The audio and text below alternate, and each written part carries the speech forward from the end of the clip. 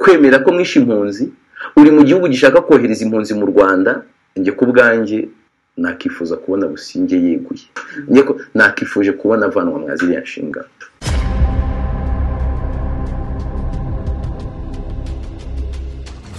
Ambasaderi w'u rwanda i london yarabeshywe akora ikiganiro anenga umugambi w'ubwongereza aho ni kuri bbc u rwanda rwitandukanyije na fen sondas wavuze ibihabanye n'ibyo rwemera kubimukira. Aho ni ku gihe doti komu aferi businge yaguye mu mushibuka. Amagambo adahuye ku kibazo cy'abimukira. Babeshye gushora imari. Ambasaderi businge mu wundi mutego i london ndifuza ko yagarurwa i kigali akanyuzwaho icyuhagiro rwanda ambassador swera breverman absolutely wrong on immigration the guardian. Ubwongereza bwaribeshye kubohereza mu rwanda. Ambasaderi businge atanze u rwanda. Response to led by donkeys story the office of the government spokesperson ogs muri komenti zuzuyemo abantu bafite uburakari n'imvugo zirimo isesengura ridahagije. Nabonyemo komenti ebyiri zabaye imbarutso yo gutuma ntegura iki kiganiro. Iti businge yagambaniye u rwanda burundu. Si byiza ko umuntu wabaye muri politiki yijandika mu biganiro biri negative cyane cyane ku gihugu cye. Usibye ko namwe mwasesenguye mutumvishe iriya dokimenteri yose. Mwafashe agace gato ntimwareba ibyakabanjirije n'ibyasoje. Nicyo ndi kubona mu busesenguzi bwanyu. Indi iti ubusingiye yakwigambanira. Ntiyagambanira akaringa inkotanyi cyane ziraje.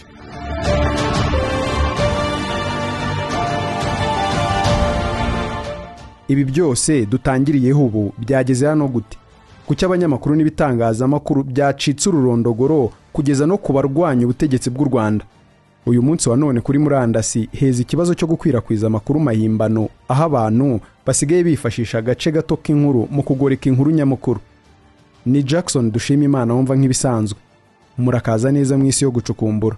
Murakaza neza mu muryango mugari wa red blue jade. Ikaze.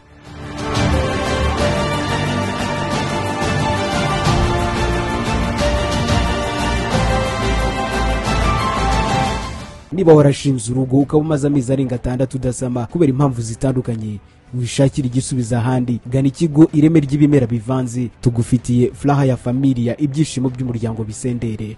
Ugira imihango idakama ihindagurika iryana cyane hari igisubizo. Abafite infegisiyo baba abagabo cyangwa abagore kwishimagura ku gitsina ndetse we n'ibindi nk'ibyo birakira. Ubu birashoboka ko wazengerejwe n'inzoka zo mu nda nka sikarisi teniya amibe yamaze kugera ku cyiciro cya gatatu bigutera kurwara imoroyide igisubizo ntikiri kure yawe.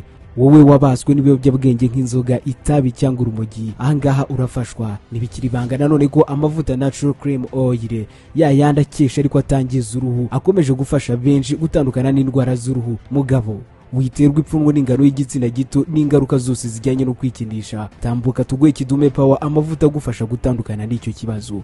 Wowe wiyiziho kurangiza vuba.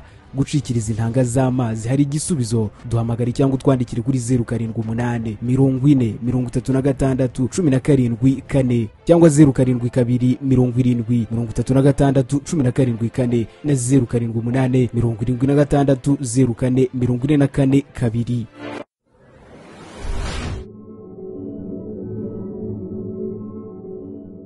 Red Blue JD. Bijya gutangira byatangiye ahagana mu ma saa moya n'umunota umwe z'ijoro tariki mirongo itatu nzeri mu bihumbi bibiri na makumyabiri na gatatu. Nibwo umuryango nako ikigo cy'abongereza cyitwa lady by donkeys cyashyize inkuru icukumbuye hanze ku rubuga rwayo rwa twitter ubwo ni x. Iyo nkuru ni amashusho y'iminota makumyabiri n'itatu n'amasegonda mirongo itanu n'arindwi. Iyi nkuru yahise n'ubundi itambutswa ku kinyamakuru cy'abongereza cyitwa the guardian mu gace k'inkuru zanditse k'ikinyamakuru cyitwa observer. Muri iki cyegeranyo cya led by donkeys humvikanyemo amazina y'abantu bane. Ariko by'umwihariko turagaruka ku mazina atatu. Urumvamo ambasaderi johnston businge uhagarariye u rwanda mu bwongereza. Hakaza terence fane saunders. Akaba ari nyir'ikigo cyitwa chelgate. Kigeze gukorana na leta y'u rwanda mu bijyanye n'itangazamakuru n'inozabubanyi. Iki kigo cya chelgate akazi kacyo kerekeranye na international relation. Aho cyafashije ikigo cy'abongereza cyitwa shell gicukura peteroli ni ukuvuga ibitoro. Mu guhosha imyigaragambyo n'iyamaganwa cyari cyagabweho mu gihugu cya nigeria mu igihumbi kimwe magana cyenda mirongo icyenda n'icyenda. Iki kigo gifasha ibihugu ibigo cyangwa abantu ku giti cyabo bashaka kubungabunga isura z'ibihugu bayobora. Ibigo utuzi twabo n'ibindi bintu byinshi byatuma ukomeza kugirirwa icyizere ku ruhando mpuzamahanga mu gihe waba wagezweho n'ibihe bikomeye. Muribuka ibya rusesabagina shelgate iri mu bafashije leta y'u rwanda mu guhosha inkuru zirwata akazuririye ku ifatwa rya rusesabagina.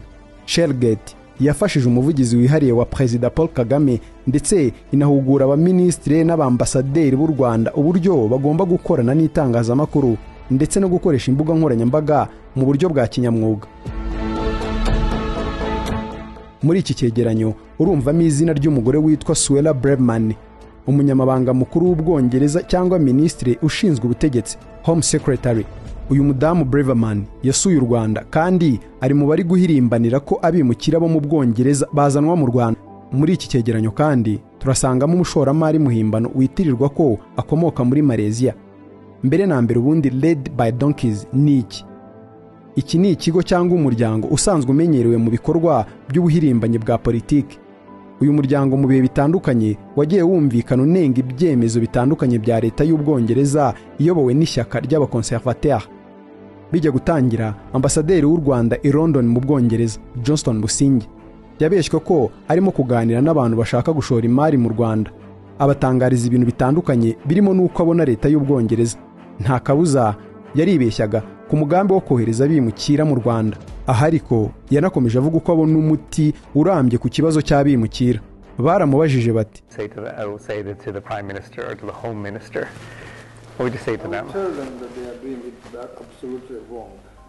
ikibazo nk'iki niko wabera leta y'ubwongereza mu bijyanye n'ibi bintu byerekeranye n'amategeko y'abimukira?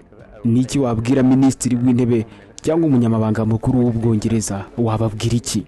Nawe arabasubiza ati Na- nababwira mbere na mbere ko bibeshye. Bakagize igitekerezo cy'igihe kirekire.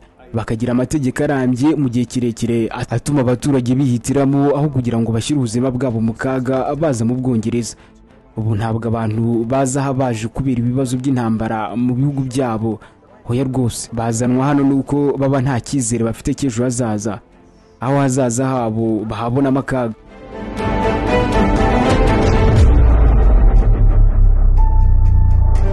iyi nkuru turi kuganiraho yakozwe n'ikigo cya led by donkeys cyayise icukumbura. Ubundi bijya gutangira iki kigo cyaciye kuri kompanyi ya Chelgate imwe twahereyeho ikorera mu bwongereza akaba ari na yo yigeze gukorana na leta y'u rwanda mu kuyifasha kubaka isura nziza ku ruhando mpuzamahanga. Led by donkeys ivuga ko yabeshye terence fain saunders wa mukuru wa Chelgate ko hari umushoramari wo muri aziya y'amajyepfo ashyira uburasirazuba ushaka gushora imari mu rwanda. Umunyamaleziya maze fen saunders abategurira guhura na johnston businge kugira ngo abasobanurire neza u rwanda mbere yo kujya gushorayo imari. Mu rugendo rwo guhura n'uwo mushoramari mu kwezi kwa munani aho byabereye i london businge yafashwe amajwi n'amashusho atabizi hakoreshejwe kamera zihishe. Aganira yisanzuye abona ko ari mu kiganiro bwite ku ngingo zirimo umugambi w'ubwongereza wo kohereza abimukira mu rwanda no kuri paul rusesabagina. Iki kiganiro cya kasamutwe kikimara kujya hanze ubuvugizi bwa leta y'u rwanda. Mu gitondo cya kare ku itariki ya mbere y'ukwezi kwa cumi uyu mwaka turimo ahagana mu ma saa tatu n'iminota mirongo ine n'umunani bwahise busohora itangazo rivuga ko hashize umwaka urenga irangije amasezerano yo gukorana na kompanyi ya fen saunders. Bityo ibyo yavuze bikwiye kwirengagizwa kuko nta buremere bifite. Muri iryo tangazo bavugamo ko ambasaderi w'u rwanda i london agira uruhare rukomeye mu gusigasira umubano uhamye w'ubwongereza n'u rwanda mu bice byinshi harimo n'abinjira n'abasohoka. Ni iki fen saunders yavuze muri iki kiganiro cyatumye mu ijoro ryo kuwa mirongo itatu z'ukwezi kwa cyenda ahagana mu masaa moya y'ijoro? Mu gitondo cyo kuwa mbere z'ukwezi kwa cumi leta y'u rwanda igahita isohora irindi tangazo kuri webusayiti yayo. Ni iki? Dore icyo yavuze. Ku munota wa gatanu n'amasegonda mirongo itanu n'ane ukageza ku munota wa munani n'amasegonda mirongo itanu n'ane terence fen saunders yumvikanye avuga ko u rwanda ari igihugu kimaze gutera imbere mu bijyanye n'umutekano ndetse no kurwanya ruswa. Ariko akavuga ko hari ibindi bibazo rugifite birimo abantu baburirwa irengero n'abashimutwa. Ndetse ko uvuze ibitagenda neza ku butegetsi yemye ashyirwa inyuma y'amaferabeto agafungwa. Mu gatwenge terence fen saunders yumvikana avuga ko rusesabagina yashimuswe n'u rwanda n'ubwo rubihakana. Ati he thought he had chartered a plane. Well, he had chartered a plane, but the Rwandan intelligence services yari azi ko agiye gutega indege imuzanye kumuhuza n'inyeshyamba zirwanya u rwanda. Abatasi b'u rwanda bakimara kubita mu matwi bahise bapanga uburyo byanze bikunze iyo ndege izagushwa i kigali byanga bikunze aho yabaga yari yapanzwe kwerekeza hose. Indege igiparika ngo avemo mu gihe yari ataramenya neza ibiri kuba bahise bamubwira bati ikaze i kigali waca hano nyabuneka. Birasekeje ariko icyo ni cyo gisobanuro cyo gushimutwa mu by'ukuri. Gusa nyine abanyarwanda barabihakana. Bati yavuye mu ndege. Ariko nyine nibo bari bayiteguye ko imugeza mu rwanda kandi we ntabyo yari azi habaho amashimuta mabi. Gusa ishimutwa rye nta kavuyo karimo ku buryo ari ishimutwa risekeje rinashimishije rwose. Ayo niyo magambo yariye leta y'u rwanda mu matwi ihita ifata icyemezo cyo kwamagana uyu mugabo bitewe no kujora no kujujura ibijabiriye bitagira kujanisha ngo bijonjore ibijogwe iyo ukomeje gukurikirana iki kiganiro ugwa ku munota wa cyenda n'amasegonda mirongo itatu n'atanu aho feyini yagize ati is the British, um, is the Rwandan ambassador in the UK. Umuntu wahura nawe kugira ngo ushore imari mu rwanda uri mu bwongereza ni ambasaderi w'u rwanda mu bwongereza kuko muzi ndi mu rwanda. Igihe nari ndi gukorana n'u rwanda ndi mu rwanda hari umuntu watubwiye ko ari mu bantu batatu bafite amahirwe yo gusimbura ku ntebe perezida w'u rwanda. Amazina ye ni johnston busingi aho ni ho yahise ahuriza uwo mushoramari muhimbano na ambasaderi busingi muri icyo kiganiro cyifashishijwemo utwuma dufata amashusho n'amajwi tutagaragara ambasaderi rusingi yasobanuye neza uko u rwanda ari igihugu cyagiye gikora ibishoboka byose mu gufasha impunzi zigera ku bihumbi magana ane. Zaruhungiragamo zo mu karere kuva muri mirongo icyenda na karindwi icyenda umunani icyenda icyenda no muri bibiri cyane cyane impunzi zavaga kongo no mu burundi.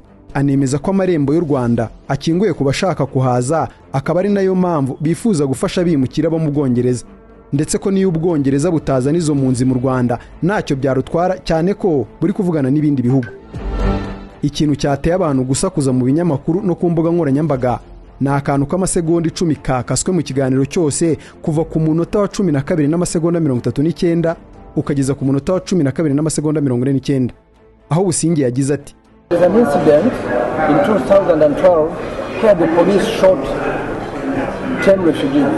habaye ikibazo muri bibiri na cumi na kabiri aho abapolisi barashe impunzi icumi. Yego birashoboka ko byabaye ariko rero ni iki? Nyamaza hari habanje aya magambo ndetse hakurikiraho n'aya agira ati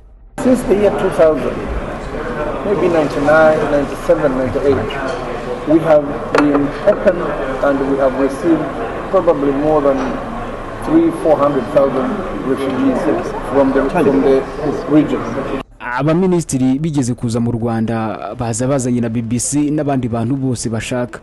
Babonye ibintu byose uko bihagaze ku butaka bw'u rwanda. Igitangaje ni uko bavuye mu rwanda bageze hano baravuga bati ariko hari ikibazo cyabaye muri bibiri na cumi na kabiri aho abapolisi barashe impunzi icumi. Nibwo n'abasubije ntiyego birashoboka ko byabaye. Ariko rero ni iki? Aha mu bwongereza abantu bararaswa buri munsi kandi bigaca mu binyamakuru bya bbc n'ahandi hose ku isi. Gusa ntimurumva tuvuga ngo leta y'ubwongereza irasa abaturage. Ntiturabivuga. Hoya twakurikiranye abantu bose babigizemo uruhare twakoze iperereza ry'uko byagenze n'ibindi byose bibyerekeyeho. Bishobora kuba byari amakosa ikibazo ibyo ni itangazamakuru rishaka kugaragaza nk'isura y'u rwanda. Iyo niyo nkuru nyamukuru y'ikiganiro. Aho ambasaderi rusingi yasobanuye neza iby'itangazamakuru ryashakaga kuvuga kandi ntaho bihuriye n'ukuri ndetse n'ibyabazanye. Bati igipolisi cy'u rwanda cyarashe ikinica impunzi z'abanyekongo cumi n'ebyiri mu mwaka w'ibihumbi bibiri na cumi n'umunani. Ubwo zigaragambyaga zivuga ko zidafite ibyo kurya. Ibyo ni byo bashakaga kumvikanisha. Kandi iwabo bihahora ntihagire ubyitirira leta. Ambasaderi rusinge ati rusesabagina yongeye. Indege ye nanone yagwa i kigali. Ubusinge wahoze ari minisitiri w'ubutabera bw'u rwanda. Muri icyo kiganiro muri rusange ashyigikiye umugambi w'ubwongereza wo kohereza abimukira mu gihugu cye. Gusa nk'uko twatangiye tubibabwira yifuza ko ubwongereza bukwiye gukemura impamvu nyamukuru zitera icyo kibazo. Muri kamena ubwo ni mu kwa gatandatu. Urukiko rw'ubujurire mu bwongereza rwanzuye ko umugambi wo kohereza abimukira mu rwanda unyuranyije n'amategeko. Leta yaho yajuririye mu rukiko rw'ikirenga iburanisha rizaba muri uku kwezi kwa cumi. Mu kiganiro n'umunyamakuru azi ko arimo kuganira n'umushoramari. Businge yabajijwe icyo yabwira leta y'ubwongereza kuri uyu mugambi wayo. N'icyo yavuga kuri swela breveman minisitiri ushinzwe ubutegetsi mu bwongereza usa n'ukuriye uyu mugambi ubu. Arabanza abwira uwo baganiraga ati urashaka ko mubwira icyo ntekereza? Nta muntu uzabibwira. Bombi baraseka. Nuko aramusubiza ati bagakoze neza kurushaho. Ati bagakwiye kugira umugambi w'igihe kirekire utuma abantu badashyira ubuzima bwabo mu kaga baza mu bwongereza. Kuko ntabwo abantu baza hano kuko mu bihugu byabo hari intambara. Oya baza hano kuko nta cyizere bagifite. Baza hano kuko nta ejo hazaza bafite. Yavuze ko ari ukwibeshya kuba ubwongereza bwafatwa nk'igihugu cy'ikigira neza nk'igihugu cy'ubuhungiro nk'igihugu cy'impuhwe. Ati bagize abacakara miliyoni z'abantu mu myaka magana ane. Bashenye ubuhinde bashenye ubushinwa bashenye afurika muri icyo kiganiro yavuze ko rusesabagina atashimuswe ahubwo yisanze aho atari yapanze kujya. Rusesabagina wari wakatiwe gufungwa imyaka makumyabiri n'itanu mu rwanda yararekuwe mu kwezi kwa gatatu uyu mwaka nyuma y'igitutu cya leta ya amerika n'uruhare rwa katari ibyo ni ibivugwa n'abo mu burengerazuba. Yafashwe mu buryo butavuzweho rumwe. Aho leta amerika n'ibihugu by'uburayi bivuga ko yashimuswe. Naho leta y'u rwanda ikavuga ko yafashwe kuko yashakishwaga n'ubucamanza. Ubusinge wari minisitiri w'ubutabera icyo gihe yafatwaga yasobanuye mu binyamakuru uko rusesabagina yashutswe akajya mu ndege azi ko agiye i burundi ikamugeza i kigali agafungwa. Yashinjwe iterabwoba kuko yari umwe mu bakuriye ishyaka rya mrcd ryari rifite umutwe w'iterabwoba wa fln wagabye ibitero ku butaka bw'u rwanda. Dukomeje. Businge muri iki kiganiro wakomeje kuganira azi ko ari kuganira n'umushoramari yabajijwe niba rusesabagina yakongera. Ati simbizi gusa indege ye nanone yagwa i kigali. Ni ibiki mu by'ukuri bikubiye mu nyandiko leta y'u rwanda yahise yandika ivuga kuri icyo kiganiro? Itangazo ry'ubuvugizi bwa leta y'u rwanda rivuga ko muri iryo cukumbura rya red by donkeys harimo byinshi bitari byo kandi ko nta gishimishije mu gukomeza kwemera ko abantu bishora mu nyanja bajya i burayi. Ariyo mpamvu u rwanda rutewe ishema no gufatanya na leta y'ubwongereza mu gutanga igisubizo. Johnston businge yavuze ko ibyo yavuze ku gisubizo cy'igihe gito ku kibazo cy'abimukira bireba n'ibihugu byose byo mu gice cy'amajyaruguru y'isi. Nk'uko bivugwa n'ikinyamakuru cya observer cyo mu bwongereza. Iki kiganiro kirangira ku munota makumyabiri n'amasegonda mirongo itatu. Yavuze ibyo atekereza ku butinganyi. Yibaza impamvu babikururiza cyane aho byagizwe ikibazo kiruta kovidi kuruta n'abantu bari munsi y'umurongo utukura w'ubukene. Avuga ko hari abantu bavutse bateye gutyo kandi ntacyo yabikoraho. Gusa bareke kubyenyegeza aho basigaye bari kubyinjiza no mu bana bato b'imyaka icumi cumi n'itatu mu mashuri aho basigaye babigisha ko iby'igitsina gore cyangwa gabo ari ikinyoma bitabaho ahubwo waba icyo ushaka. Ati ejo hazaza hari muri siyanse ikoranabuhanga ubuvuzi n'ubuzima uburezi kurinda ibidukikije no kubaha abantu no kubana mu bwumvikane bunyuze buri wese. Nta kwibana. Kandi mugomba kumenya gusobanura neza icyo uburenganzira ari cyo atari ibyo kuvuga nk'iyi mikino y'ubutinganyi. Ku mpera z'ikiganiro businge yavuze ko kurasa impunzi mu bihumbi bibiri na cumi n'umunani ari icyago n'amakosa byabaye kandi leta ikaba yarakurikiranye ababigizemo uruhare bose kongeraho ko byabasigiye isomo. Ati nta mpuhwe zirimo mu gufasha bimukira mu bihe turimo.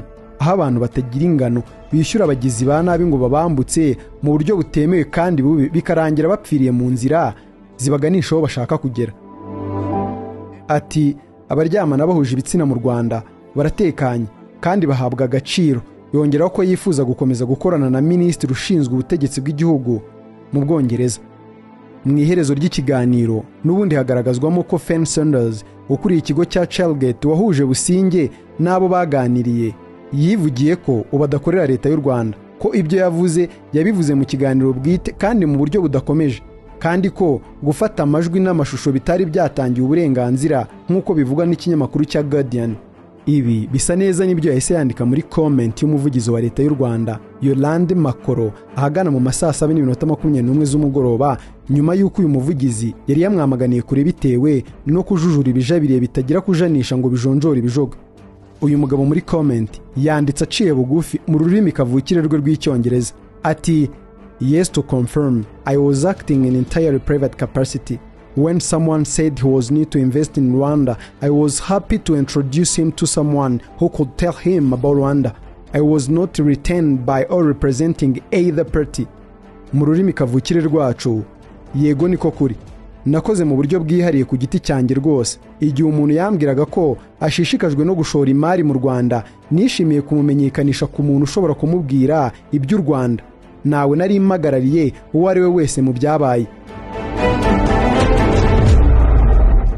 Nyuma yo kumva ibi hari ikosa ambasaderi johnston businge mu byo yavuze wumvisemo ku buryo byagirwa iturufu yo kujujura ku bijyanye n'abimukira leta y'u rwanda yifuza kwakira. Duhurire muri komenti ni jackson dushima imana wumvaga nk'ibisanzwe. Mukomeze mube mu muryango mugari wa red blue jade. Mbifurije ubuzima ibyo kurya n'amafaranga. Mugire ibihe byiza.